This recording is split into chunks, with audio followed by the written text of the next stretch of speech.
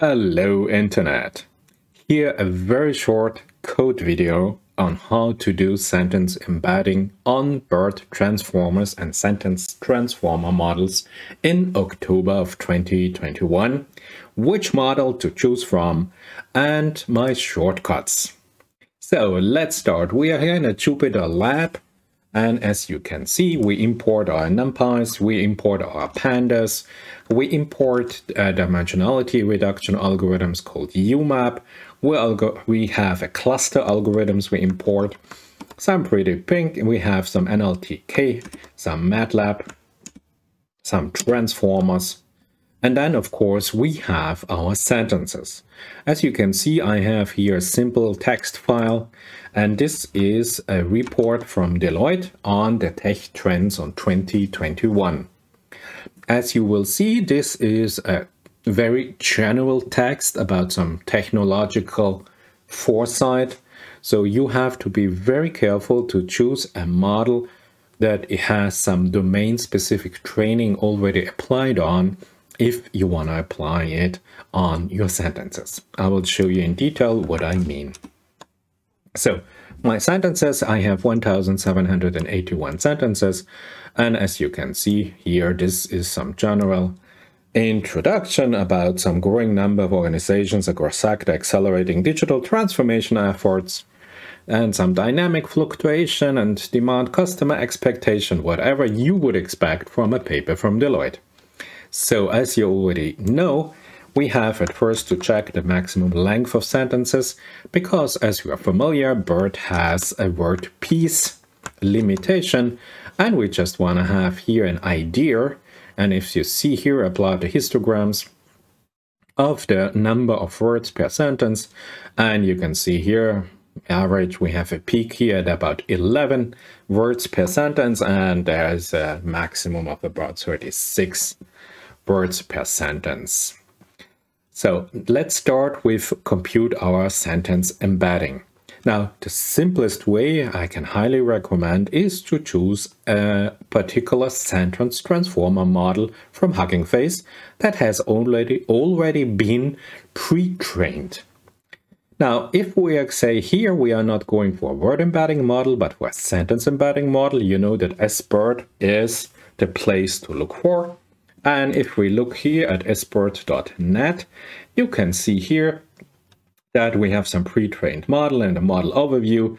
And there is, and today is, as I told you, October 2021. Now here the model that have been trained lately and their performance on sentence embedding and semantic search. You have an average performance, the speed and the model size and whatsoever you can have a look at all the different models and they tell us okay if you go for an all mpnet based version 2 that looks good as a sentence embedding model. Or you go for a distilled roberta or some lml12 and all the paraphrase model you are familiar with.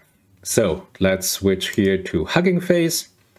We have here now our hugging face uh, model page uh, we are looking for a PyTorch implementation. The sentences are in the language English. And as you can see, we only got 3,940 BERT uh, transformer models. And now we are here on the task on sentence similarity. And we have some sentence transformer models, as you can see here, 22. And they would recommend updated August 30 Mini LM-L6, um, L12 if you want to have a little bit better performance. And there's again our all MPNet based version 2. That is also recommended, you remember, by SBERT.net. Here we go.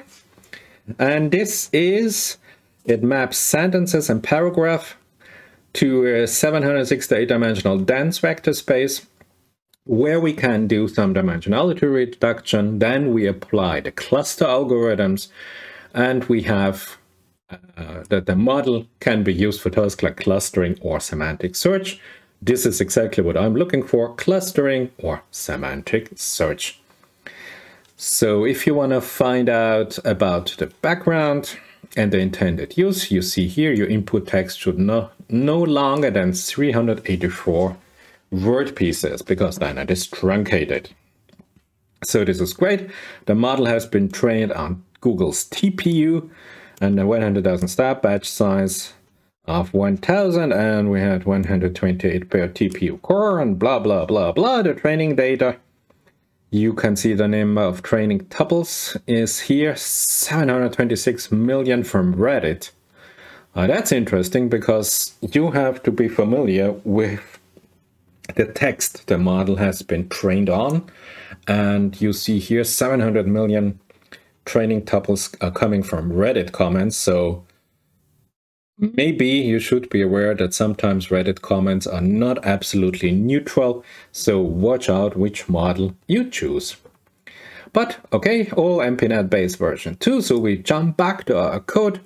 Uh, either we choose this model or if you want you can go for Alberta, but let's say okay, let's choose this model, let's download this pre-trained model to our local machine. I'm working here on a Windows 10 laptop. And as you can see, it's already downloaded and in 10 seconds it is done. Of course, then we have to tune the model to our sentences. This is uh, my, my sentence array. Batch size is 128. And here we go. Now, takes a little bit of time to encode it. And then we can have a look at the shape of the encodings. And we hope to see that all uh, our 1700 sentences are encoded in if we remember correctly, in a 768 dimensional dense vector space. So this is gonna take time, it's about one and a half minutes, and I see you in a second. And I am back here, you see it take, took 1 minute and 11 seconds to calculate it.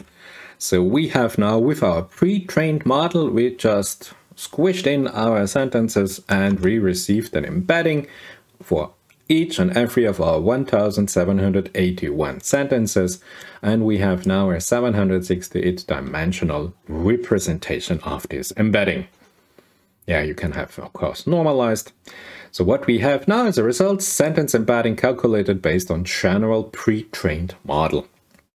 Now, if you have a very specific, domain-specific knowledge, I don't know, you, you are uh, having some text that is highly scientific, uh, your mathematical text, the theoretical physics text, a medical text, or I don't know, maybe archaeology, you are maybe interested in some additional unsupervised learning. So one recommendation here, and this is also by SBERT, as you can see, relied heavily on labeled data to train sentence embeddings models. But if the labeled data are not available, you can overcome this limitation with some unsupervised approach. And one idea here is, and you see here the publication, is to use the transformer-based denoising autoencoder. So this means more or less that you simulate that 60% of your text is heavily noised and then you try to relearn the system based because you have the real text and you have the noisy text and you let the system train on these sentences. An unsupervised learning. Now we can apply this. So what we have we have here a, a transformer model. We use the simplest model, BERT base uncased. We have some word embedding model. This is our transformer. We download a, a pooling layer where we have our word embedding and we have some CLS tokening going on. And then we just put it in a sentence transformer and we get our model, our sentence transformer model. Then we have, of course, our sentences and a very, very specific loss function. Because what we need here is a denoising autoencoder loss model. You can have a look at this in SBERT, where you can see here, where is it? Where is it? Where is it? Losses. And if you go here, if you train a neural network, of course, the loss function you choose is highly important. So please have a look at all these different loss functions that are already pre-programmed for you. Choose whatever is right for you. You get some very interesting documentation here going on. Cosine similarity we're going to use for some uh, information retrieval later on. And as you can see here, we have our denoising autoencoder loss implementation, blah, blah, blah. As you can see here, there are some different decoder decoding and encoding. And if you tie the encoder and the decoder whatsoever, please check out the code. I'm just gonna show you if you apply this now to our model, we get now a new model. Maybe I should not to get into troubles because I call this model, let's say da, da, da, the model here, we call, let's call the model that we model S because this is our sentence embedding model. And if you want to have a look what the model is included in, you will see that you have a word embedding model, a BERT transformer model, oops. Then you have a pooling layer, and this pooling layer has no normalization. So here are model S. We have a transformer model, sequence length is 512. With a transformer model, this is our standard BERT model. And the pooling, you have here word embedding dimension 768. This is our model we've chosen. We have the pooling mode, is CLS token is true. We have not activated the mean or the max mode. And also there's a mean mode with the square root of the length of the token, which is very interesting in, in itself. But this time we just go with CLS token. And we say, okay, uh, there's a simple way if you want to train it or if you want to have a more advanced training algorithm where you say, okay, I have some warm-up steps, my scheduler has an integration of a warm-up linear, but we just go for the very simple task. And you see here, if we go for one epoch, that it should take about, let's have the first run, 10 minutes, 15 minutes here. On my computer, I have an AMD CPU and unfortunately no GPU with CUDA cores, so I'm locally limited here on some CPU calculation. Therefore, it's gonna take about 10 to 15 minutes. I suppose I will be back with you in a second. And after 12 minutes, you can see that my little CPU with 6 cores and 12 threads uh, took about 12 minutes to calculate one epoch. Now, of course, if you choose to run this program on Google Colab, and I remember I had 100 epochs on a K80 GPU, it took me about one hour.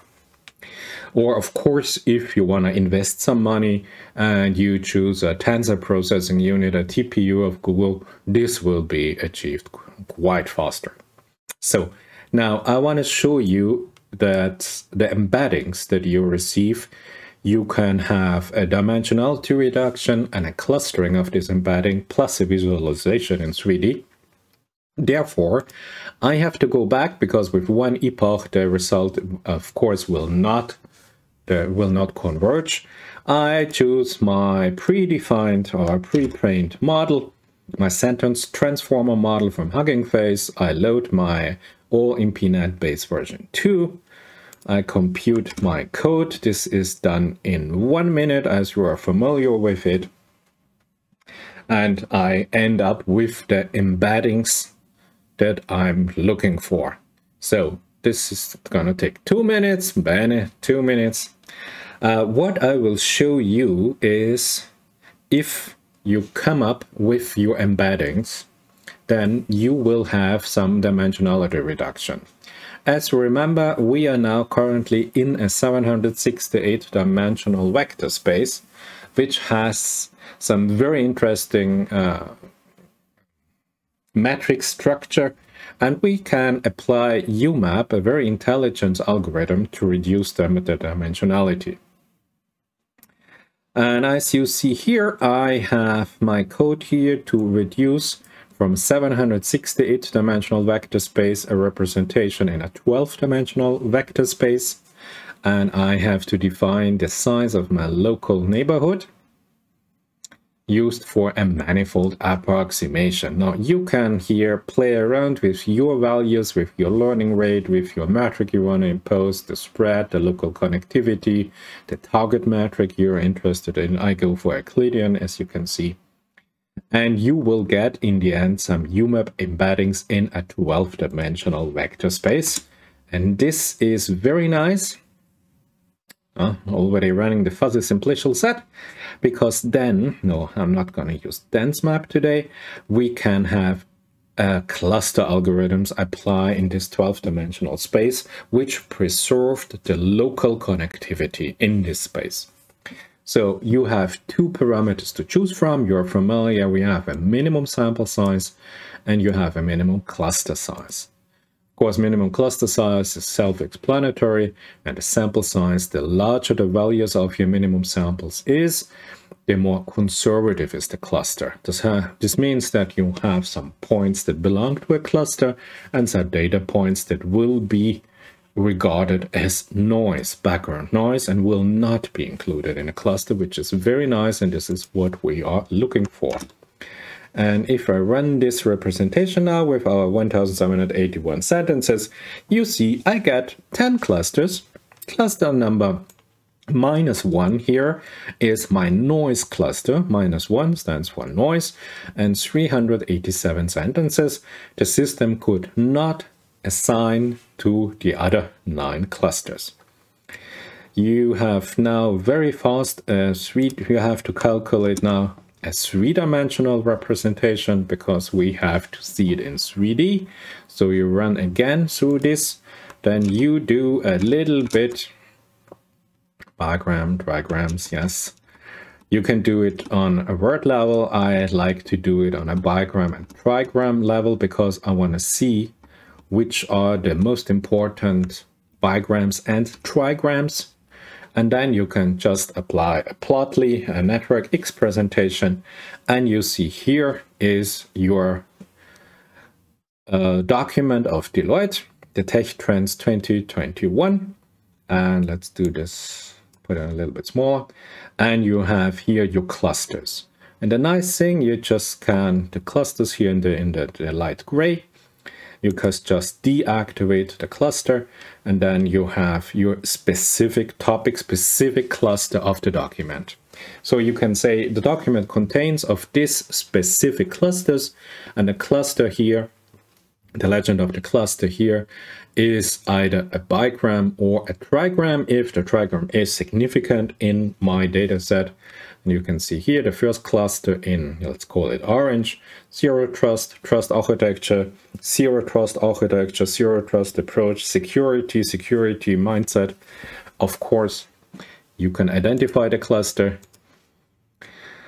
You can have the next cluster, physical, digital, human experience, remote work, diversity, supply chain, machine learning, data management, strategy development, your business case, your cloud-based, your low-code, your edge computing, your ERP systems whatsoever. You can play around with this. You can have a look at this in different dimensions. You can identify each and every point of the cluster that you are interested in.